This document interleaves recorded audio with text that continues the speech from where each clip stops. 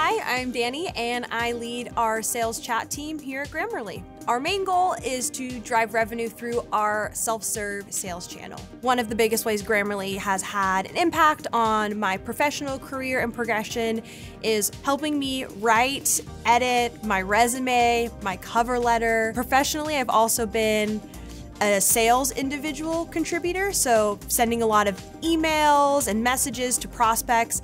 And it's hard for me to imagine not having Grammarly over my shoulder, double checking every message I've sent. When you're communicating with a VP, you don't want to send a message with errors because you lose credibility. Especially here at Grammarly, the pressure is on to be as polished as possible all the time. Our own communication is a demonstration of the product that we're selling. When it comes to chat, speed is the name of the game. Every 10 seconds it takes to respond to a chat, the likelihood of that lead responding drops by 10%.